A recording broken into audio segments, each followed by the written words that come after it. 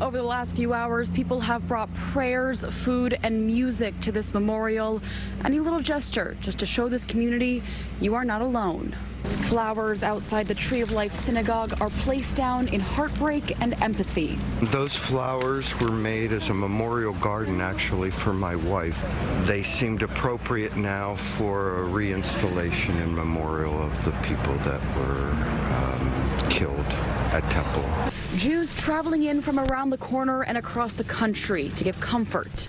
They're my congregation, they're my community. They're my neighbors. When tragedy happens, we're all one. We're all Jews. Whether we're Orthodox or conservative, we're all Jews and we have to support each other. Supporting each other through the unthinkable. One man watched as his own friend was killed directly in front of him. He steps over Mel's body like it's a, a, a log.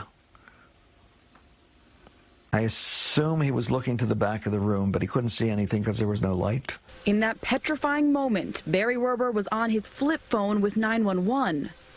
But the gunman turned to leave, apparently not seeing him or anyone else.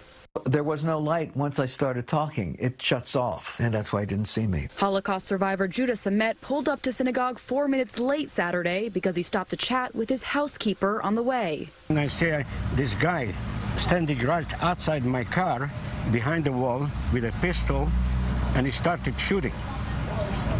And he was shooting two, two, two, two, three.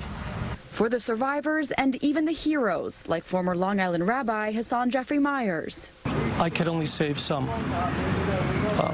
The people in the back of the sanctuary I could not save. I carry that regret with me and I will the rest of my life. Tonight we've seen Jews, Christians, Buddhists, people from all walks of life paying their respects as one community in mourning. From Pittsburgh, Ali Bauman, CBS 2 News.